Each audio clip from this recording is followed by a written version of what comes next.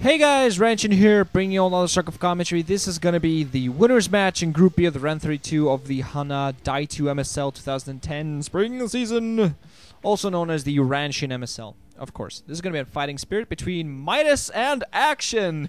oh man, it's it is hilarious seeing Midas here. It is hilarious. He's going to be at the upper left hand position as the red Terran. We're going to have Action at the bottom right position as the beige Zerg. I'm sorry. Or is that white? Anyway, I think that's white. But anyway, I just I have to point and laugh. Well, not right, exactly point and laugh, but I have to laugh out loud seeing Midas in this position, winning Flash and just very solidly beating him in a straight up TvT game. Great, great results from him so far. 38, 39, 40. But yeah, I'm really looking forward to see what he does. And of course, I, fi- I think I, alongside most other StarCraft fans, we kind of root for the old school guys. We kind of root for them, you know.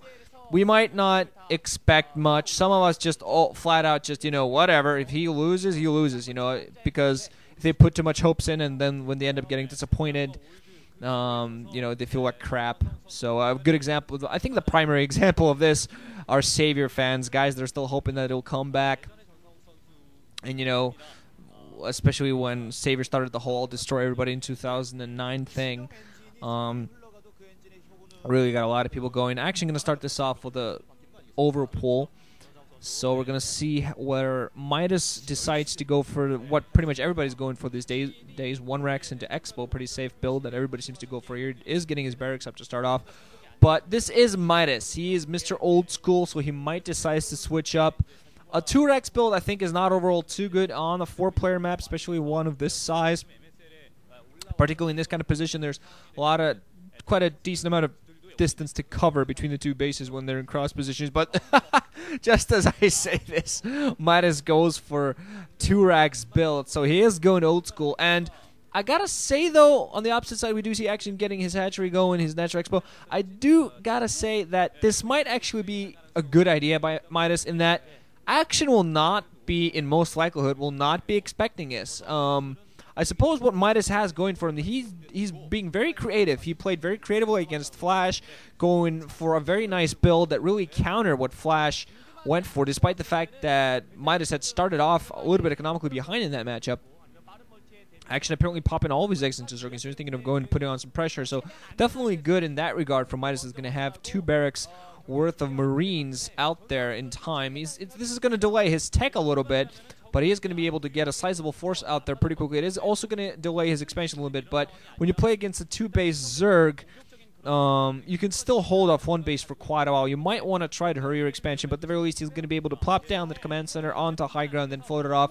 Uh, SCV coming down there for Midas right across the middle. Five Marines out there already going to be able to defend against these Zerglings easily. Although I feel the Zerglings run off the ramp and spot every single one of those Marines. They are going to be re revealed, so I think Midas should actually force a few of his Marines back, but no, he's just going to reveal all four of them. He's actually going to move out. Has five Marines. I thought he had five earlier, but six Marines now. He's going to move out. Going to force, at the very least, action to put down a sunken colony at this front. He has a SCV there, so he might actually threaten with a bunker there as well. Still producing something. Has Academy going right now going out with his five initial Marines. I don't think he's going to try to push this. He's going to move back, back with his SCV. Don't think he's going to push this, but he might decide to put on some pressure. Just has to be very careful because when you have Marines out there with no stim, no medic support, they are fairly vulnerable. Actually, no, he's going to keep him back. Has a group of four running towards the 9 o'clock position while still four back home to defend. Is even more popping down on his ramp. Going to have medics coming out as well to support now, just waiting on the stim at the moment. But he's going to have a very sizable army very soon.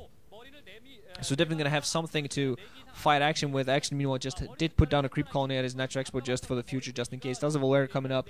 Yeah, two base, uh, two base, two hatch spire build. Of course, uh, action response really wants to hurry up and get his mutants out, some mutants out there because Midas going to go for aggressive action, going to get them comsat stations going. He's going to go out there, and if action is not ready for this, he does not have that many forces in the ground. Does have some SCV. He's going to put down two creep, two sunken colonies at the front but very, has a very, very small number of Zerglings. And when Firebat's coming in to support as well, they're going to help absorb the hits from those sunken colonies and help take them out. They're going to be three sunken colonies at the front. We're going to see whether Ma- Midas actually decides to go for this. This could be absolutely brilliant, all uh, well, not really all, and br- brilliant aggressive maneuver that could win him the game.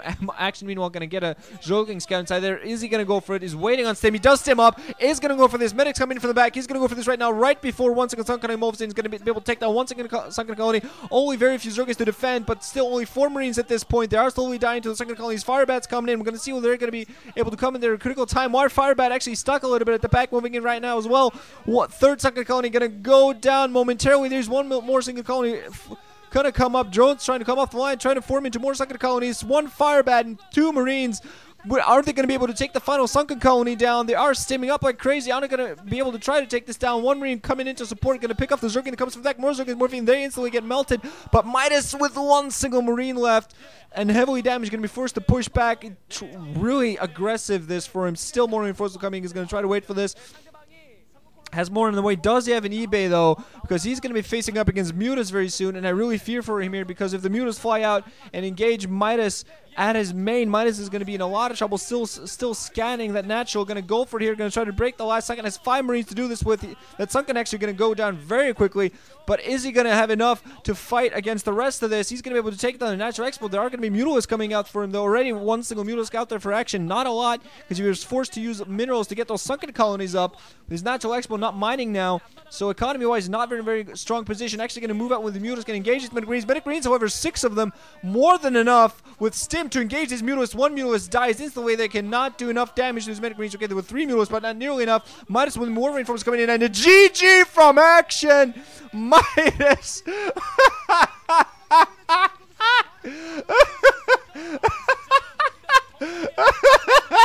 oh dear. Oh god.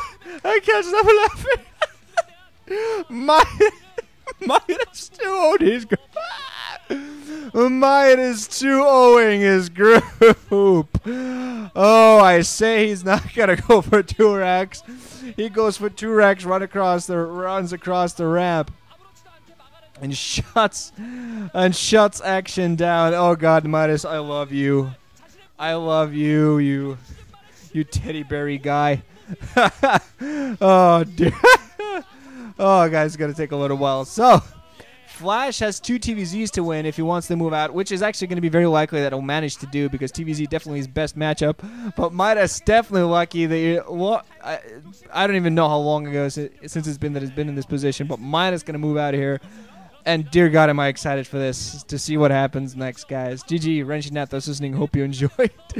oh, boy.